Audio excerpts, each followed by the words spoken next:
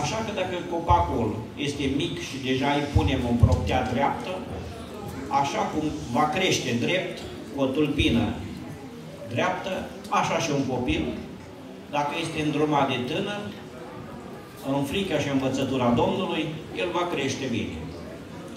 Sunt probleme. Tinerii din ziua de astăzi au anturaje, prieteni, care pot foarte ușor să-i devieze de pe calea cea bună.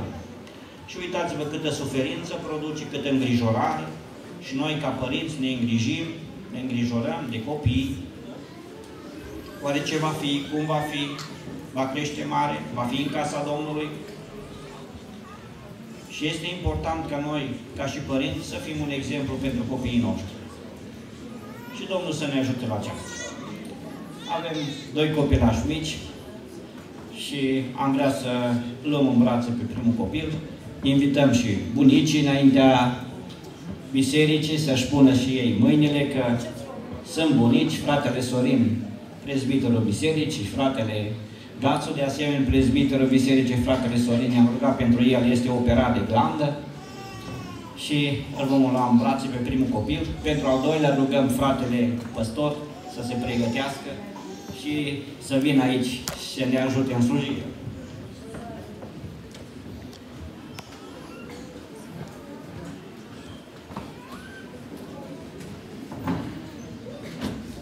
avem pe micuțul Aian, știți, ne ridicăm înaintea Domnului.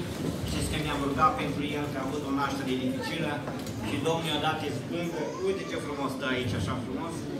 Și vom citi cuvântul Domnului care se găsește la numele capitolul 6. Domnul a vorbit lui Moise și a zis, vorbește lui Aron și fiilor lui și spune-le, așa să binecuvântați pe copiii lui Israel și să le ziceți, Domnul să te binecuvânteze și să te păzească Aiam. Amin. Domnul să facă să lumineze fața Lui peste tine și să se îndure de tine aiam. Amin. Domnul să-și înalță fața peste tine și să-ți dea pacea aiam. Amin. Astfel să pună numele meu peste copiii lui Israel și eu voi binecuvânta, zice Domnul. Amin. Doamne, Tată din cer, venim înaintea Ta, plin de dragoste, Doamne, căci Tu ai arătat milă și îndurare pentru Aian, Doamne.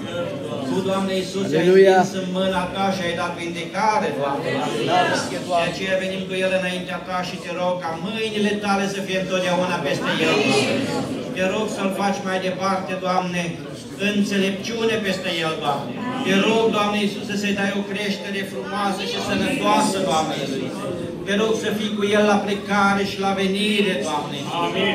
Te rog să-L ferești de tot ce e rău, Doamne. Amin. De boli, Doamne, de duhuri rele, de oameni răi, Doamne, de foc, de accidente, de ape, Doamne.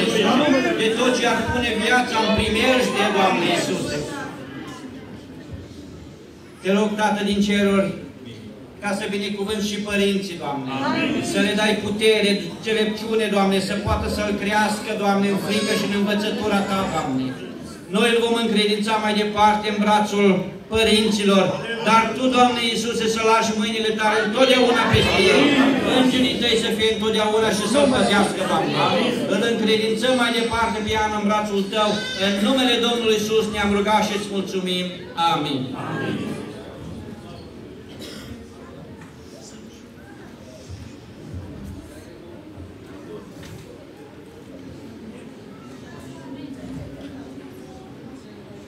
Slăvit să fie Domnul! În fața noastră se află un băiețel foarte frumos pe care îl va binecuvânta Domnul în seara aceasta. Domnul a vorbit lui Moise și a zis Vorbește lui Aron și firul lui și spune-le Așa să binecuvântați pe copiii lui Israel și să le zice Domnul să te binecuvinteze și să te păzească Adonis. Amin. Domnul să facă să lumineze fața lui peste tine și să se îndure de tine, frate Adonis. Amin. Domnul să-și înalțe fața peste tine și să-ți dea pacea, frate Adonis. Amin. Astfel să pună numele meu peste copiii lui Israel și eu îi voi binecuvânta. Amin. Tatăl nostru care ești în cer, în numele Iisus Hristos venim înaintea ta și îți mulțumim că Tu mulțești poporul Tău și îi dai mari bucurii. Înaintea noastră este, Doamne, acest copil care îl aducem pe brațele Tale. Pentru că brațele noastre sunt slabe. Ne rugăm ca să-L binecuvintezi pe Adonis. Și să lași pacea și îndurarea Ta peste Adonis. Să lași, Doamne, sănătate peste el. Să lași, Doamne, și sănătate spirituală când va crește. Să fie, Doamne, pentru slava numelui Tău. Și numele Adonis să fie înscris în cartea vieții. Ca în ziua când se va face strigarea să nu lipsească Adonis de la marea sărbătoare. Binecuvintează-i mâinile lui, binecuvintează-i picioarele lui, binecuvintează-i capul lui, urechile lui, nasul lui cu o respirație ușoară, binecuvintează-i gura lui și când va deschide să vorbească, să proslăvească și numele tău gura lui. Binecuvintează-l cu înțelepciune de sus,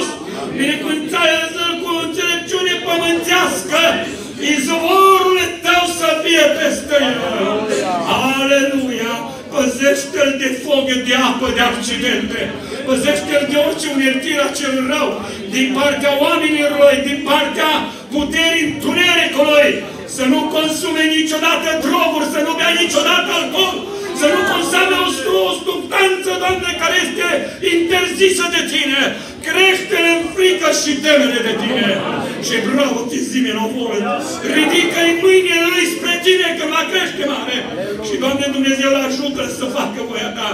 Din pricina lui te rog să înmulțești pâinea să mulțești, Doamne Dumnezeu, tot ce este necesar în casa lor.